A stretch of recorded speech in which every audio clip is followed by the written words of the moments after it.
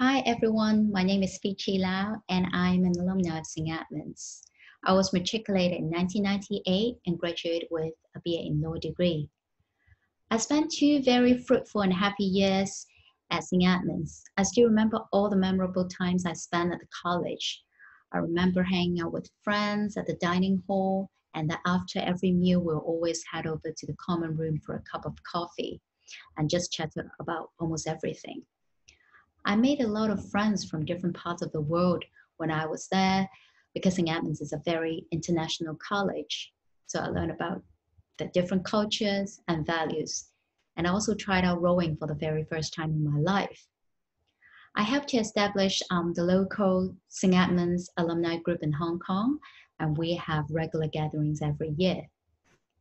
And just uh, a few years ago, I went back to visit the college, and I'm really delighted to see how much the college has grown and has developed over the years since I graduated. The beautiful college ground and the very grand library compared to the very cozy library when I was there. It was like a library room.